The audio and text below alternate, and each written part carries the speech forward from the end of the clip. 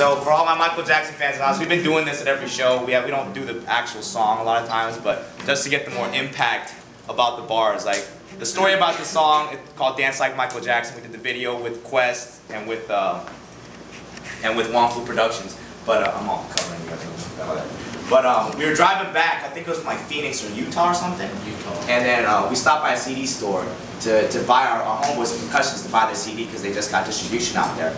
And uh, while we were there, Kev actually found a old, uh, what was it, was it Thriller? 25th Yeah, anniversary. 25th anniversary version of Thriller. And um, this was like three, four years ago. We popped it in the, in, in the deck while we were driving back and just going through all the songs, just realized how amazing Michael Jackson really was and, and how much of effect he had on the world as a whole. And, uh, and how sad it was that uh, to, to a certain extent a lot of people, you know, they don't remember Mike Jack for, you know, all of his positive things, but, you know, they focus on the negative things. But um, as you know his passing away, rest in peace, as his passing away kind of showed, like his positivity went ran past that. And we made this song, you know, while he was still alive to show, you know, the positive side of Mike.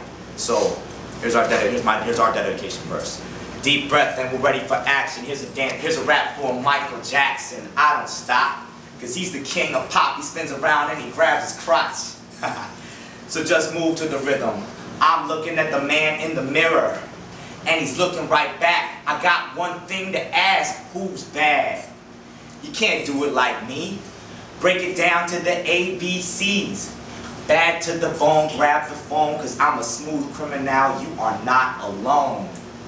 It doesn't matter if you're black or white. Everybody get down when we on the mic. And the party don't stop till you get enough. Cause the Far East movement is dangerous. Ow! Ow!